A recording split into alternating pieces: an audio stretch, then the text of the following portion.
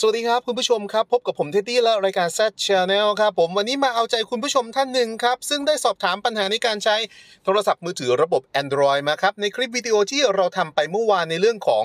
Google Play Store ที่เปลี่ยนไปฮะมีคุณผู้ชมบางท่านก็บอกเฮ้ยมันเปลี่ยนมานานแล้วล่ะพี่จริง ๆ ใช่ครับ แต่เท็ดดี้เพิ่งมาทำรีวิวให้ฮะคุณผู้ชมครับผม เรื่องของเรื่องตรงนี้นะฮะคุณผู้ชมท่านนี้ฮะได้สอบถามครับ ถ้าจะกดเข้าดูแอปที่เคยติดตั้งไว้ทำยังไงครับเมื่อก่อนกดเข้าคลังมันจะโชว์เลยครับแต่ตอนนี้มันไม่โชว์ครับโอ้ใช่ฮะคุณผู้ชมครับผม เนื่องจากว่ามันเป็นในส่วนตัวใหม่ล่าสุดเดี๋ยวเทดดี้ทำให้ดูนะ หากเราจะเข้าไปตรวจสอบดูแอปพลิเคชันที่เราเคยติดตั้งไว้ครับผมแต่ว่าตอนนี้ค้นหาไม่เจอหรืออะไรก็ตามครับ คุณผู้ชมเข้ามาที่ Play Store อีกครั้งหนึ่งฮะแต่เข้ามาที่ Play Store เนาะหน้าตามันจะไม่เหมือนเดิมฮะหน้าตามันจะเป็นแบบนี้ฮะจิ้มไปเรื่อยเปื่อยแล้วคุณผู้ชมฮะขออภัยครับผม แต่เข้ามาที่ Play Store ครับเมื่อแตะเข้ามาเรียบร้อยแล้วฮะทีนี้เราจะพบว่าขีด3ขีดที่มันเคยอยู่มุมบนด้านซ้ายมันไม่มีแล้วเนาะเราจะต้องเข้ามาโดยการแตะรูปโปรไฟล์ที่อยู่มุมขวาด้านบนครับพอเราแตะเข้ามาปั๊บนะฮะเราจะเจอกับฟังก์ชันอะอ่าอ่าหมวดหมู่ต่างๆ ที่แตกต่างไปจากเดิมเล็กน้อยครับซึ่งเดิมทีเนี่ยมันจะกดตรงคลังตรงเนี้ยมันจะเจอแต่คราวเนี้ย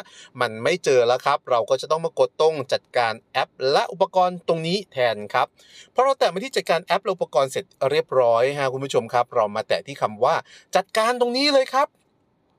เมื่อแตะที่คำว่าจัดการเรียบร้อยครับ เราจะเจอกับแอปพลิเคชันที่เราติดตั้งอยู่ไว้เรียบร้อยครับ ดูยังไงว่าติดตั้งแล้ว เพราะว่าตรงนี้มันอยู่ในหัวข้อของการติดตั้งแล้วนั่นเองครับ แล้วจะดูแอปที่เคยติดตั้ง แต่ตอนนี้ไม่ได้อยู่ในเครื่องล่ะ ก็แตะเข้าไปเลยครับ ผมแตะเข้าไปที่คำว่าติดตั้งแล้วนี่แหละครับ ผมตรงนี้แหละและจากนั้นฮะเราจะเจอกับ 2 ส่วนก็คือส่วนที่ติดตั้งแล้วกับส่วนที่ไม่ได้ติดตั้งครับ ซึ่งเราจะมาแตะตรงคำว่าไม่ได้ติดตั้งนี่แหละครับพอแตะเข้าไปปัับครับเราก็จะเจอกับแอปพลิเคชันต่างๆ ที่เรายังไม่ได้ติดตั้ง แต่ว่าก่อนหน้านี้เคยติดตั้งมาก่อนแล้ว รวมทั้งก่อนหน้านี้เคยติดตั้งในอุปกรณ์อื่นที่ใช้บัญชี Account บัญชี Google เดียวกันด้วยครับผม เช่น โทรศัพท์มือถือที่เราใช้เมื่อ 5 ปีที่แล้วครับ โดยการใช้ Account นี้ฮะ เราเคยติดตั้งแอปพลิเคชันไว้ตรงนี้ไว้ฮะไว้อะไรวะอ่านไม่ออก โอเคฮะ เคยติดตั้ง Action Cam ต่างๆ ไว้ในบัญชีซึ่งใช้ Google Account เดียวกันเนี่ยแหละครับ เราก็จะเจอเจ้าแอปพลิเคชันอยู่ตรงนี้